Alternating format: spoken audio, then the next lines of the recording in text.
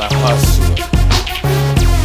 He was a from Detroit, home of the hustlers. Only homie he had was customers. Money was his best friend. He kept a fat stack next to him and kept it close like next to kin. Daddy was an alcoholic, street brawler, but he taught him all about cars and how to be a baller. Soon as he graduated, got a job at the factory, promoted to the president. Now he's stacking cheese, but it wasn't enough. He needed more, cause he grew up poor and he swore that he'd never be broke like he was back in the days. So he get paid high salary for his invention, but he didn't have the best intentions. Charismatic maverick who was known to start static with the bosses, but he also knew the demographic.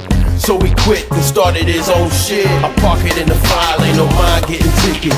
See it outside with a fine picture it. Monochromatic finish, you just where my name is. Maybe if you ride with me, I get you famous. I, I, I, I get you famous. I, I, maybe I get you famous. Get you famous. May 79, he was in full function. By the early 80s, he was done with production. The introduction of the DMC 12, spanking brand new on the showroom for sale. Stainless steel from the bumper to the grill. For the added appeal, they got ill with the gull wing doors, reversible transmission. Target marketed to the man with the ambition. That's why you gotta kinda respect the man's vision. Should've been applauded, except the man's didn't reach expectation. No matter what he facing, he still dream chasing. He wanna be the big money maker, mover, shaker.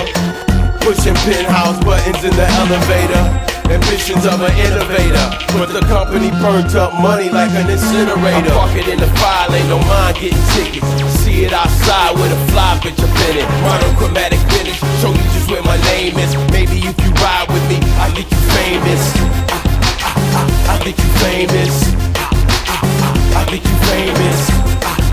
Maybe I'll make you famous. Maybe I make you famous.